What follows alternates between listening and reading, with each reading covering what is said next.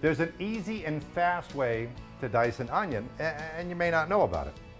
You start by taking the skin off, and once you do the one side, you just kind of peel it back. The other side comes off.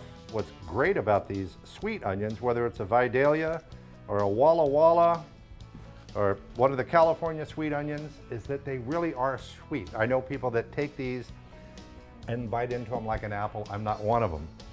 But let me show you the fast way to dice. Cut a little edge off here, and then if you just make some cuts thusly, then you go this way, and of course it really does help if your knife is sharp and you want to hold the onion together, and then the dice.